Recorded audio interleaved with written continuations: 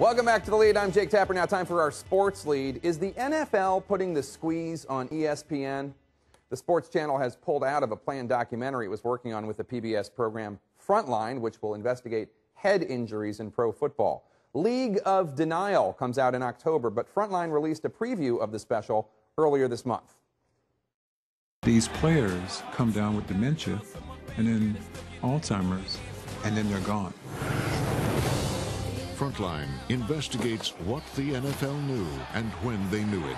You can't go against the NFL, they'll squash you. You can't go against the NFL, they'll squash you. According to reporting from James Andrew Miller in the New York Times, ex executives from the NFL, the NFL Network, and ESPN met last week, and the NFL expressed their displeasure with the documentary. And then, poof, last night PBS announced that ESPN was pulling out, writing that, quote, ESPN released their own statement that said, uh, that said because ESPN is neither producing nor exercising editorial control over the frontline documentaries, there will be no co-branding involving ESPN on the documentaries or their marketing materials. The use of ESPN's marks could incorrectly imply that we have editorial control. As we have in the past, we will continue to cover the concussion story through our own reporting. An NFL spokesman tells CNN that, quote, it's not true that we pressured ESPN to pull out of the film. The lunch was requested several weeks ago by ESPN. We met with our business partners. We meet with our business partners, rather, on a regular basis, and this was not unusual.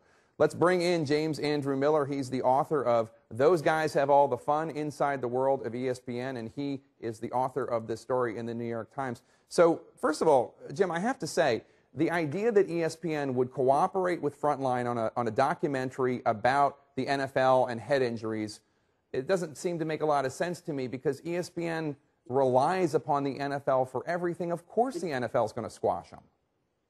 Well, I think that's true. It, starting in 1987, ESPN began to construct a serious journalistic enterprise.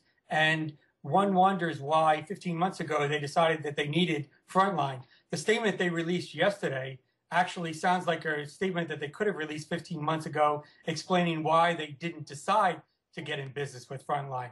This whole idea about who would have ultimate control and co-branding, I think ESPN created a big problem for itself 15 months ago when they decided to do this. Are there indications that this Frontline documentary is going to be tougher than the reporting that ESPN has done on the whole injury of head injuries in the NFL?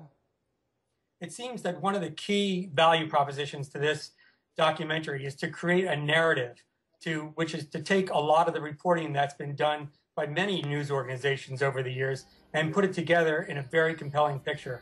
I'm not sure, I haven't seen the documentary. I'm not sure what is actually new. I know there is some new material, but when you take all these disparate elements and you put it together in a powerful narrative, I think that has much more impact. And certainly now, given what's happened over the past 24, 48 hours, a lot more eyeballs are going to be watching it as a result. One of the spokesmen of the NFL Players Association told this to Deadspin. Let me read this. Quote, given the media landscape we're in, player access is as valuable as access to the games. We will have to make a longer term decision if we don't feel like our broadcast partners are willing to tell the truth.